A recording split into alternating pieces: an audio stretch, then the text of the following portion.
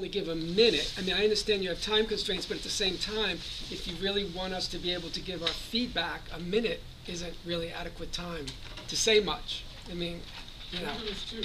Um, but, so we will start with one minute, um, and there may be comments from members of the board that allow people to make additional, um, comments if they choose. But we do have to kind of run the meeting within our established procedures. So, again, um, who would like to It's not their established procedures.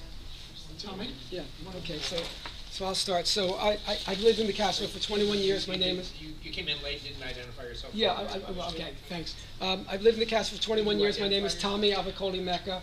Lived in the Castro for twenty-one years.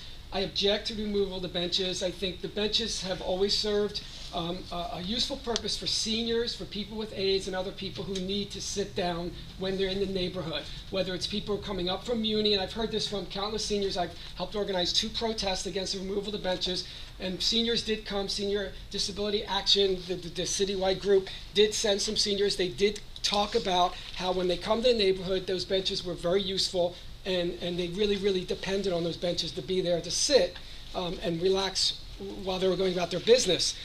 Um, so I would, I would urge you to re- return seating to the, the, that, the Harvey Milk Plaza. The second thing is I understand that there's talk about a redesign of Harvey Milk Plaza.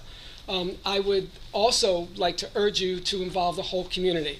And the perception of this group, whether it's true or not, is that this group does not include um, everybody in the community. So I would urge you, that if there is going to be talk about a redesign, that you include everybody, including members of the opposition here that are here tonight.